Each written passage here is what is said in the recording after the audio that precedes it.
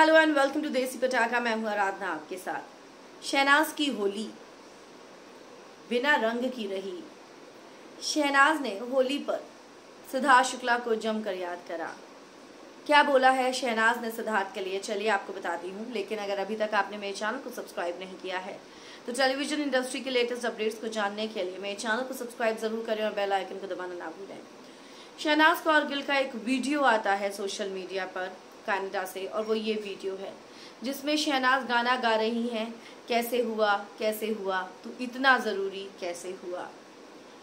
साफ़ साफ़ शहनाज के एक्सप्रेशन से, शहनाज के गाने के तरीके से ये पता चल रहा है कि शहनाज जो हैं, ये गाना कहीं ना कहीं सिद्धार्थ के लिए गा रही हैं, और वो सिद्धार्थ को काफ़ी ज़्यादा मिस कर रही हैं। होली एक ऐसा त्यौहार है जो हमारे भारतवर्ष का बहुत बड़ा त्यौहार माना जाता है। दिवाली और होली हिंदुओं का सबसे बड़ा त्यौहार होता है। ज़ाहिर सी बात है, शहनाज अपने घर से दूर है, अपने परिवार से दूर है। मैं कहना चाहूँगी कि बेसिकली वो सिद्धार्थ से दूर है। बिग बॉस के घर से जब से बाहर आई हैं, वो सिद्धार्थ के साथ ही थी। और ये पहला मौका ऐसा पड़ा है कि वो सिद्धार्थ शुक्ला से भी दूर हो गई हैं। कैलेगा में शूट कर रही हैं।